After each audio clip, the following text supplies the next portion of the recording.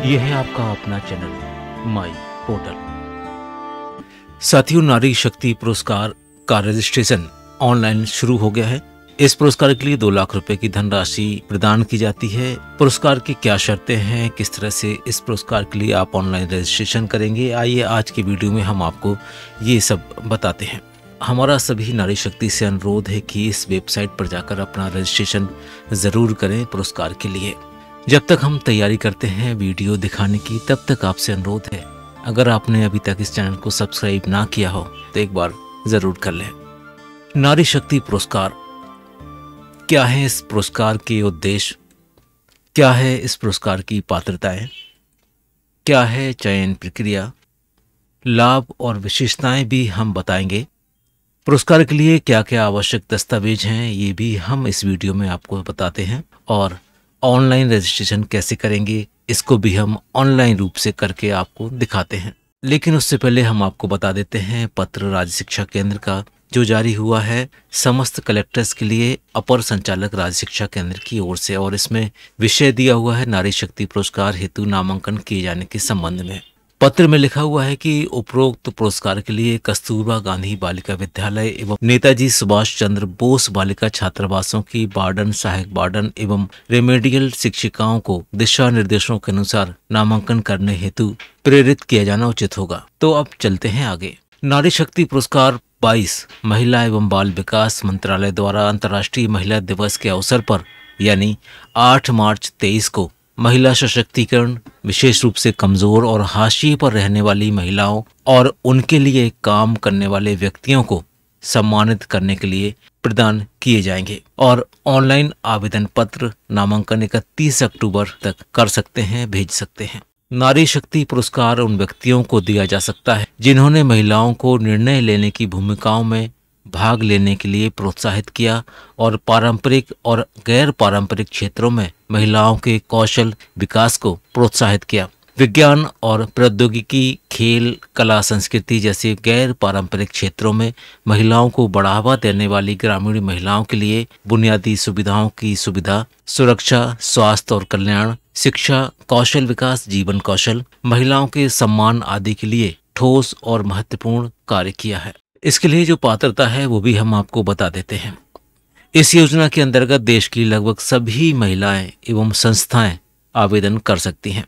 सरकार द्वारा निर्मित इस नारी शक्ति पुरस्कार में आवेदन करने के लिए व्यक्तिगत श्रेणी के लिए कम से कम आयु 25 वर्ष नियत की गई है। यदि कोई एनजीओ या संस्था इसके लिए आवेदन करना चाहता है तो उसके लिए पात्रता यह है कि वो संबंधित क्षेत्र में कम से कम पाँच वर्षों तक कार्यरत होनी चाहिए। जिन महिलाओं ने आर्थिक एवं सामाजिक सशक्तिकरण कार्यों में अपना योगदान दिया है, वह इस नारी शक्ति पुरस्कार 22 के तहत पात्र मानी जाएँगी। अब इस पुरस्कार की चयन प्रक्रिया क्या है, ये भी हम आपको संक्षिप्त में बता देते हैं।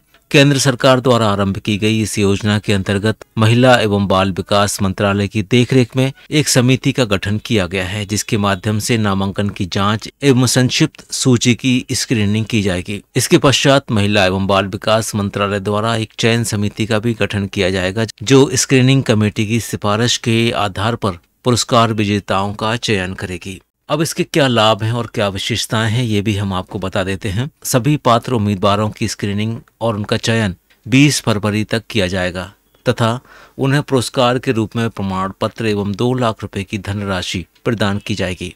यह नारी शक्ति पुरस्कार महिलाओं को सभी क्षेत्रों में भाग लेने के लिए प्रोत्साहित करने और पहचान दिलाने के उद्देश्य आरंभ किया गया है। पुरस्कार के लिए जो आवश्यक दस्तावेज़ हैं, वो भी हम आपको बता देते हैं। इसमें ऑनलाइन नामांकन करते समय आपको अपना आधार कार्ड, स्थायी निवास प्रमाण पत्र आय प्रमाण पत्र आयु का प्रमाण पत्र passport size photograph, mobile number और ईमेल आईडी की आवश्यकता होगी। इसलिए जब आप आवेदन करने की तैयारी करें, उससे पहले ये सारी चीज़ें अपनी डिजिटल फॉर्म में पास में रख लें, यानी कि इसकी फ़ोटोग्राफ्स निकाल लें मोबाइल में या फिर इसको स्कैन करके अपने पास ज़रूर रख लें। अब हम बात करते हैं कि ऑनलाइन रजिस्ट्रेशन कैसे करें। इसके लिए एक वेबसाइट दी हुई है W W W award A W A R D S dot G O V dot in सबसे पहले आपको नेशनल अवार्ड पोर्टल की आधिकारिक वेबसाइट पर जाना होगा के बाद वेबसाइट का होम पेज आएगा और उस पर आप अपना रजिस्ट्रेशन कर सकते हैं। चलिए ऑनलाइन हम आपको करके दिखाते हैं और देखते हैं क्या प्रक्रिया है और क्या क्या कठिनाइयाँ इसमें आ सकती हैं। इसमें आप देखेंगे इस तरह से नीचे डिटेल्स मिलेगी नंबर ऑफ़ रजिस्ट्रेशन की नॉमिनेशन रिसीव की और इसके ऑन गोइंग अवार्ड नॉमिनेशन की। यहाँ पर पूरी लिस्ट आ जाती है अवार्ड की, कुछ इस तरह से। और इसमें आपको जो अप्लाई करना है वो करना है नारी शक्ति पुरस्कार इसके लिए। इसके बाद आप या तो अवार्ड पे क्लिक कर दीजिए, नाम पर क्लिक कर दीजिए। अदरवाइज़ इस तरह से आप ऊपर जो राइट हैंड साइड में तीन आइकॉन देख रहे हैं, यहाँ पर हम बीच वाला आइकॉन यूज़ करेंगे। नए रजिस्ट्रेशन के लिए हम पहली बार अगर रजिस्टर्ड कर रहे हैं तो बीच वाला आइकॉन करेंगे। और अगर हम एक बार रजिस्ट्रेशन कर चुके हैं तो हम इसमें लास्ट वाला आइकॉन यूज़ करेंगे लॉगिन के लिए। चलिए शुरू करते हैं। बीच वाले ऑप्शन से क्लिक करते हैं रजिस्ट्रेशन को। कुछ इस तरह से यहाँ रजिस्ट्रेशन फॉर्म खुल जाएगा। अगर आप इंडिविजुअल अपना व्यक्तिगत करते हैं तो आपको इंडिविजुअल पर क्लिक करना है। इसके बाद, यहाँ पर आपको नॉमिनेटर या एप्लीकेंट टाइप और यहाँ पर आपके पास बहुत सारे ऑप्शंस होंगे। आप जिस भी तरह से आप सिलेक्ट करना चाहते हैं, उसको कर लीजिए। अगर आप एक सामान्य सिटीजन हैं तो आप अपने सिटीजन को क्लिक कर लीजिए। इसके बाद, अगला कॉलम है नेम एस पर आधार या वैलिड आइडेंटिटी प्रूफ यानी आधार कार्ड में हो या किसी आईडी में हो। आपको उसी के हिसाब से यहाँ पर अपना नाम लिखना है। इसके बाद यहाँ पर मोबाइल नंबर आपसे पूछ रहा है। मोबाइल नंबर के लिए आपको अपना मोबाइल नंबर लिखना है। मोबाइल नंबर के बाद यहाँ पर ईमेल आईडी है। ईमेल आईडी आपको लिखना है।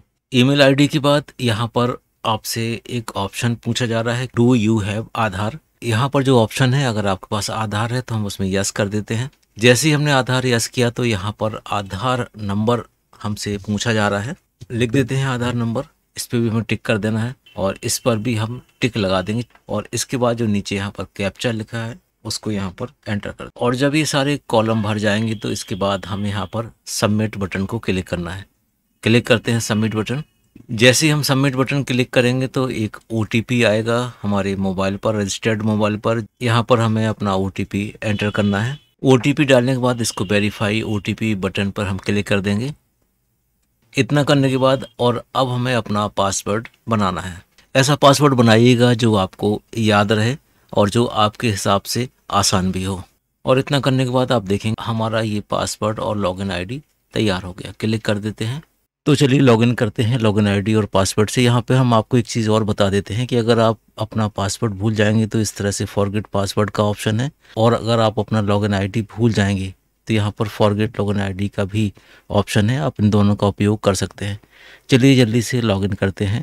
लॉगिन आईडी और पासवर्ड एंटर करते हैं और इसके बाद कैप्चा करके साइन इन करते हैं। जैसे ही साइन इन करेंगे तो फिर से एक ओटीपी आपके मोबाइल पर आएगा। इस ओटीपी को आपको इस जगह पर एंटर करना है। जैसे ही हम साइन इन कर लेंगे तो इसके बाद इस तरह का पेज इंटरफेस हमारे स्क्रीन पर आएगा। इसमें आप देखेंगे तीन तरह के ऑप्शन आपको यहाँ पर दिख रहे हैं। पहला ऑनगोइंग अवार्ड नॉमिनेशन का है, दूसरा सबमिटेड नॉमिनेशंस का है और तीसरा माई प्रोफ़ाइल का है।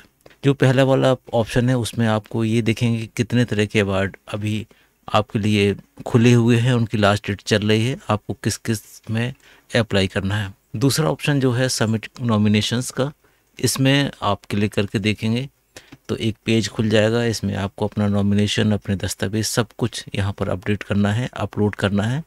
तीसरा ऑप्शन है माई प्रोफ़ाइल का। माई प्रोफ़ाइल में अगर आप अपनी प्रोफ़ाइल में कुछ चेंज चाहते हैं तो आप यहाँ पर जाके उसको एडिट भी कर सकते हैं। उम्मीद है आप अपना नॉमिनेशन अच्छी तरह से कर पाएँगे। कहीं कुछ परेशानी, कुछ समस्या है तो आप कमेंट बॉक्स में लिख कर पूछ भी सकते हैं। मिलते हैं एक नई वीडियो में, तब तक के लिए थैंक्स फॉर वॉचिंग